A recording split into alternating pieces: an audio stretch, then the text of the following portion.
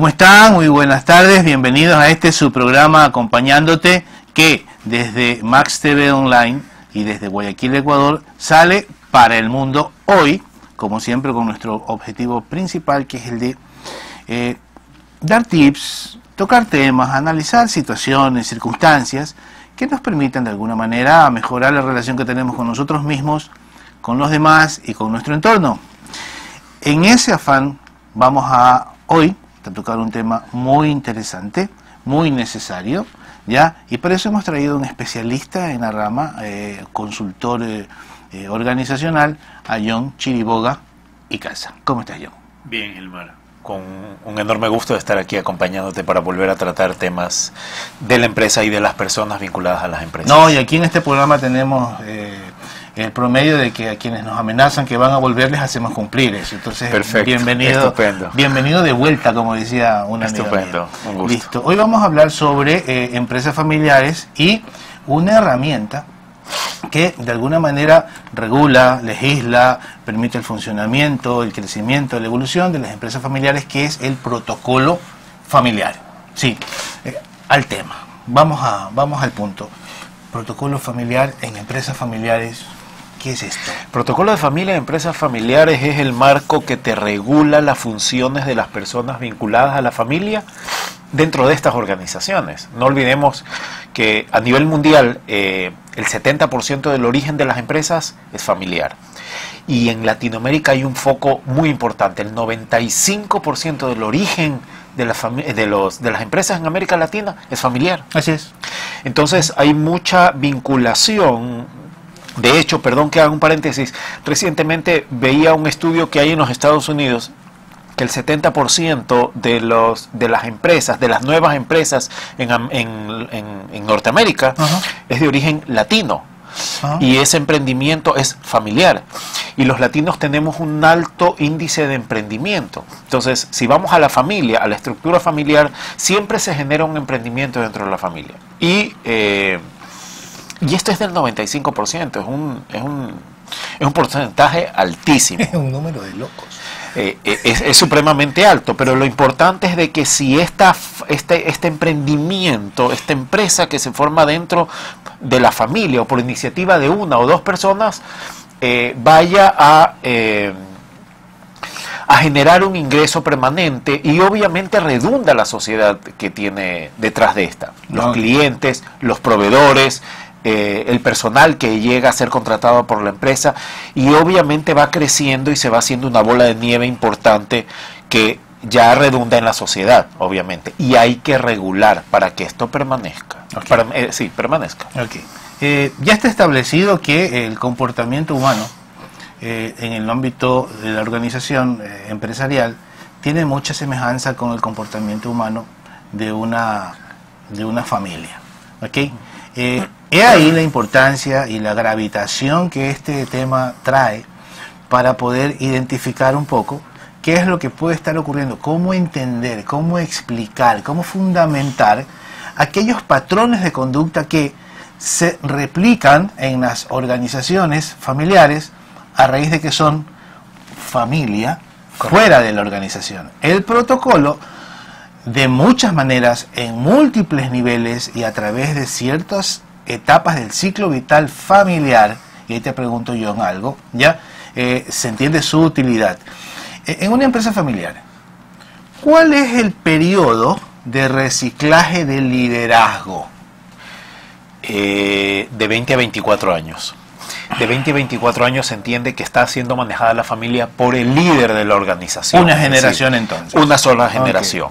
De esa generación donde hay un, hay un tremendo movimiento económico, un tremendo movimiento y crecimiento económico y social en la calidad de vida de la familia de ese, de ese líder, obviamente ahí viene... Eh, ahí viene importante, es importante de que se genere ese cambio generacional para que si se cultiva la cultura del emprendimiento dentro de los miembros de la organización, esta debe hacerse a través de un protocolo de familia, con normas claras escritas que delimiten las funciones de cada uno de los miembros de la familia que quieran o sean proclives a estar vinculadas a la familia, a tener una función productiva en la familia, John. en, la, en la empresa. John, sobre, sobre la especialización y sobre la diversificación, eh, vamos, vamos, vamos a tocar el tema que es necesario, pero yo creo que más en este momento estaríamos en el tiempo de definir qué es un protocolo de familia, cuál es la estructura,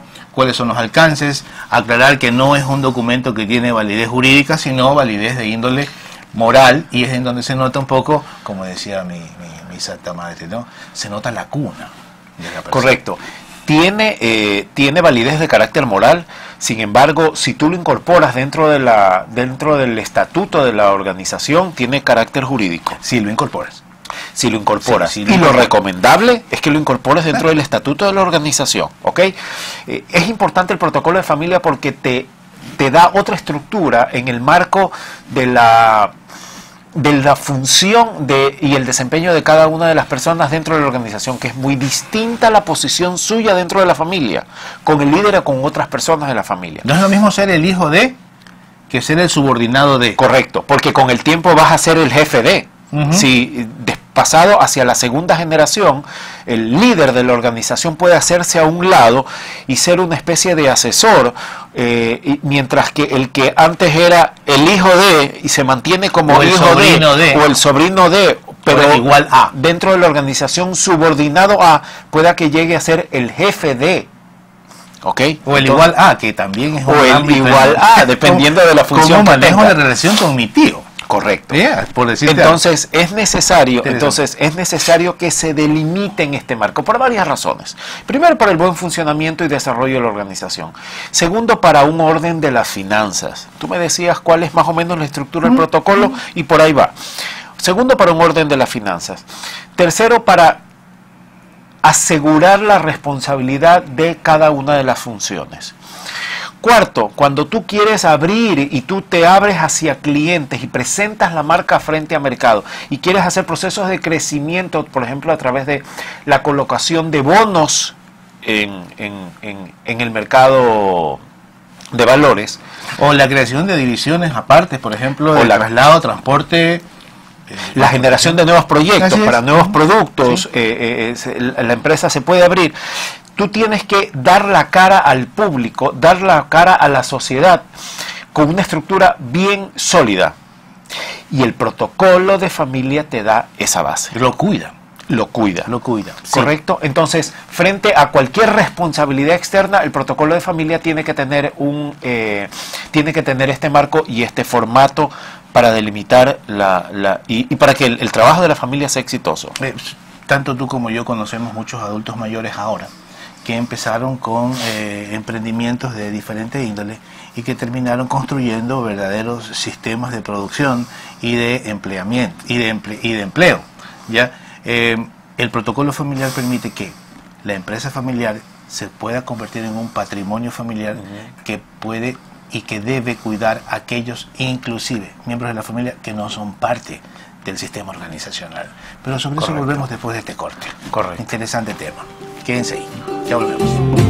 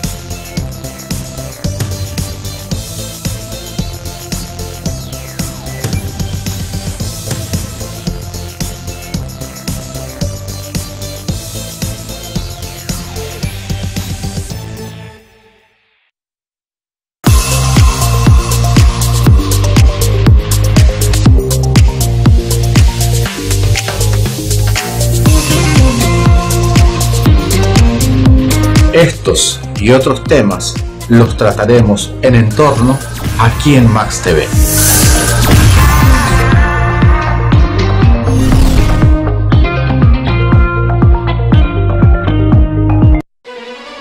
¿Qué tal mis amigos? Bienvenidos. Soy Hilda Murillo. Qué alegría regresar nuevamente a la pantalla con un nuevo proyecto musical dedicado a mostrar los consagrados y los nuevos talentos del pentagrama ecuatoriano. Con nuestros invitados hablaremos de su trayectoria, proyectos, producciones, anécdotas y algo más. Acompáñanos los viernes a través de Max TV a partir de las 16 horas de Ecuador para el mundo. Los espero.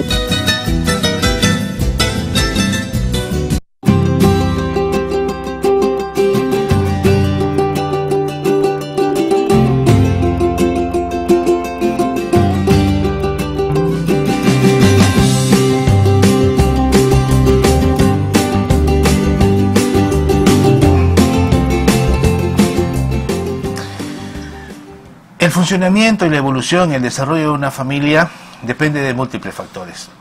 Uno de ellos tiene que ver con la subsistencia y la producción y el crecimiento individual.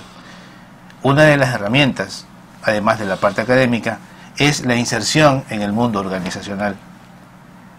La familia debería tener absolutamente claro que el nivel de competitividad, de preparación de cada uno de sus miembros debe obedecer a una demanda contemporánea clarísima. Las empresas necesitan ser susten- autosustentables, necesitan abrir a un intercambio permanente de eh, eh, auto eh, eh, evitando que las empresas sean lo reactivas que han venido siendo, que no dependan necesariamente del clima o de, de la economía en el macro, sino que tengan un sistema de eh, funcionamiento, de crecimiento necesario. Los miembros de la familia allá están entrando y es por eso la importancia de este tema, ¿no? Hacia dónde vamos en el funcionamiento, desarrollo y crecimiento de los miembros de una familia. Eh, la familia empresarial eh, difiere de la familia tradicional, de, los roles tradicionales, mamá, papá, hijo, gerente, subgerente, secretario. Totalmente, A ver. totalmente. Aquí hay roles totalmente distintos. Eh, en la familia cada uno tiene un rol eh, que, que- que tiene una función y un resultado en función de una estructura organizacional ya dada de manera natural. Padre, madre, hijos. En la empresa hay uno de estas de esta unidad, esta unidad familiar que genera un emprendimiento y pone inicialmente las reglas dentro de una nueva estructura organizacional. Si otros miembros de la familia se van incorporando, deben tener funciones claras dentro de la estructura organizacional de esta unidad totalmente independiente y propia. John, Es distinta. John, en ese marco, en ese marco, eh, te voy a soltar la, la- la- la pregunta así, casta, como me la hacen a mí. En la empresa no hay familia y se me cruzan de brazos. ¿Cuál es la respuesta? En la empresa hay familia. No, no, La no, o sea, en la empresa, en la empresa, no hay familia, o sea, el, el gerente que tiene un subgerente que puede ser su hijo, sí, que puede ser su esposa, que puede ser su hermano. ¿ok? o un familiar político, eh, no debería operar como familia. No, ¿correcto? No, es- la no, respuesta no, es cabal. no. Hay jefe, hay, hay colaborador, hay responsable de proyectos, hay persona que tiene una función que tiene que generar un resultado. Ok. ¿Ok?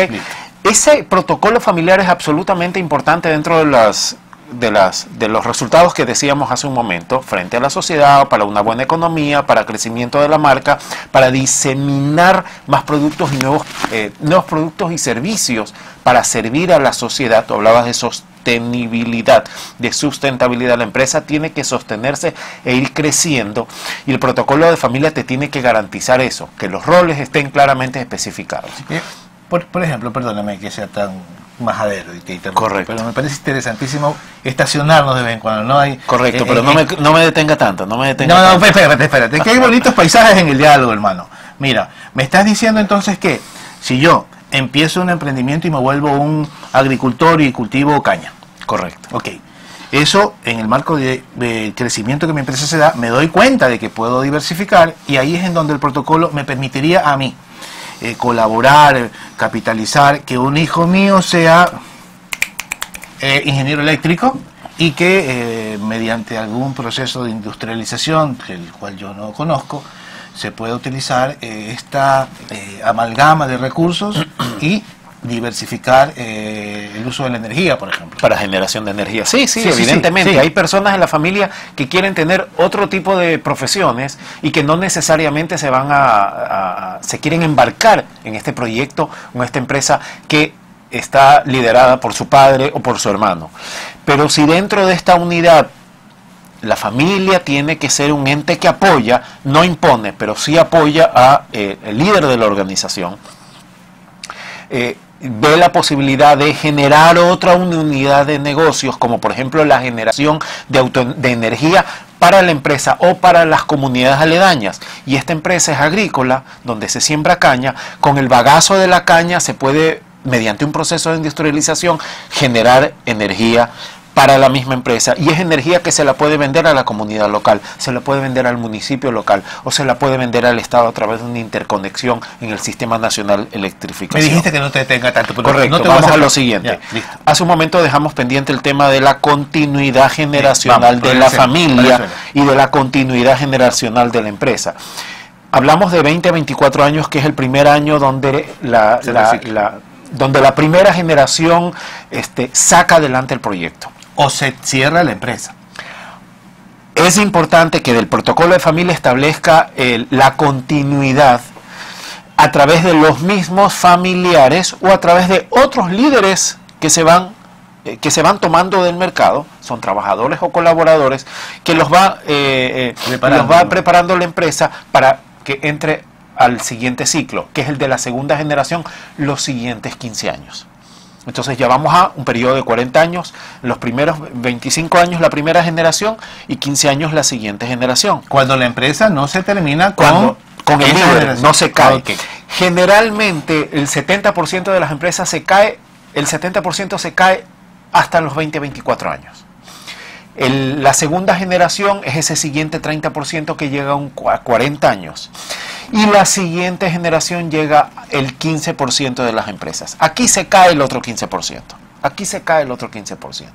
Importante es que el protocolo de familia garantice el crecimiento y desarrollo de la organización hasta siguientes generaciones. No solo la segunda, la de 40 años, sino la siguiente que pueden ser 50, 60 años, etcétera. Una, una de las realidades que el protocolo permite viabilizar es cuando el cabeza, eh, la punta de flecha, ¿ya? Se da cuenta de hacia dónde quería llevar el crecimiento, lo logra y necesita recurso humano, talento humano. Ok, Pero el protocolo también te permite regular el hecho de que el líder no lo sepa, que no entró con esa visión, que la vida lo fue llevando, ¿sí? Si ahí es cuando el protocolo permite la inclusión de otro tipo de especialistas que hay en la familia, por ejemplo, eh, ¿qué es lo que ocurre con... con- voy a poner una clínica. Ya. Eh, él empezó un médico, que después al hijo lo hizo médico y que el hijo se casó con otra doctora y todos son médicos. Ya, pero ¿qué ocurre cuando uno de los dos quiere ser veterinario, quiere ser tecnólogo en comunicaciones o en marketing? Ok, el protocolo permite la inclusión de este nuevo tipo de especialidades que aparecen en una familia, no necesariamente diferentes al- a la del jerarca, ¿ya? Y eh, mantiene la cohesión familiar y ahí es cuando aparece la figura de ya no la empresa familiar, sino la posibilidad de que se vuelva un patrimonio. ¿En dónde? En donde los protocolos permiten una maravilla. Por ejemplo, hay un hay una cápite que tiene que ver con las prestaciones sociales a los miembros de la familia que quieren irse a especializar. ¿Sí? Otra, cómo se van a manejar los costos de inversión cuando va a haber la herencia. O sea, hay una, hay, el, el protocolo es un tema que en un programa no, no, no- se va a poder evaluar. ¿ya? pero eh, tiene que ver con lo que tú estabas mencionando, John. Sí, hay, hay empresas familiares que inclusive tienen, ponen pensiones sobre los líderes que ya se llegan a retirar, sus esposas, sus cónyuges o miembros de la familia que son especiales y que tal vez no tienen nada que ver como un gasto de la empresa, pero se pone una pensión para esa persona. Bueno, al fin y al cabo es una empresa privada y sus líderes, sus, um, sus accionistas pueden poner el tipo de obligaciones que les permita la ley, siempre que no coarten el crecimiento, el pago de utilidades a otros accionistas, el pago de eh, remuneraciones a los trabajadores, eh, las inversiones eh, financieras que tienen que hacer y las inversiones sociales que tienen que hacer en la sociedad, como por ejemplo trabajar con la academia para capacitación de trabajadores, como por ejemplo trabajar con la comunidad para un enriquecimiento y crecimiento dentro de la de la, de, cobertura social sí la comunidad local uh -huh. eh, para pago de impuestos al estado etcétera uh -huh. es decir puede el líder eh, tomar de la empresa y disponer para eh, algunos gastos específicos de la familia eh, uno de los uno de los desgastes más comunes en las parejas en los matrimonios y en las familias en general es cuando el esposo y la esposa trabajan en lo mismo cuando se van incluyendo los hijos y eso genera un desgaste que en, en, los flujos de la familia pueden llegar a ser eh, elementos de deterioro. Ya el protocolo familiar permite que ese tipo de situaciones tenga una menor, una mayor y mejor regulación, ¿sí? Eleva el pronóstico de satisfacción conyugal, el espacio erótico afectivo entre una pareja, el espacio relacional y comunicacional entre un padre y un hijo. De hecho, eh, creo que esa es la mayor eh, buena nueva que en este programa queremos rescatar. No es la única, pero siendo un programa de índole familiar, Ajá. ya creo que es la mejor de las buenas nuevas que un protocolo familiar nos ofrece a nosotros como miembros de una, de una organización familiar. El segundo rubro de quiebra en los matrimonios, de fracaso en los matrimonios, es por problemas económicos.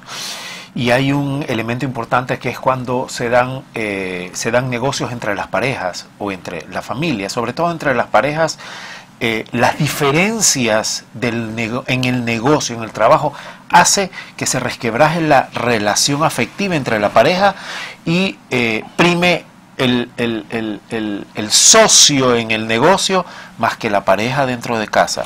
Y obviamente eso lleva a un rompimiento matrimonial y eso eh, podemos conversar todo lo que quiera. Y el protocolo de familia tiene que prever y establecer eso también, ¿no? ya no te están, ya no te paro yo a ti, sino que te estás dando cuenta que me están parando a mí, Correcto. me están cortando la lluvia no problema, yo lo entiendo. por el tiempo. Eh, ¿Quién es el especialista o el profesional a quien se debe recurrir para eh, conceptuar y definir ¿Qué es un protocolo? Uh, ¿El consultor? Eh, es un consultor y finalmente lo importante es, y vuelvo a lo que dije inicialmente, tiene que ser incluido en el estatuto. El protocolo de familia debería ser incluido en el estatuto, ya. por lo tanto debe llegar luego firma una, de un abogado claro, claro. y, y yo que sé sea que eso les da miedo. Yo sé que eso les y da que miedo. sea notarizado. Yo sé que da pero miedo, es necesario. Es pero por ahí tiene que ir. Ya. Porque lo haces exigente y lo insertas en el sistema de administración de la empresa que es el buen gobierno corporativo. De hecho, el sistema de, gobierno corporativo. Totalmente de acuerdo.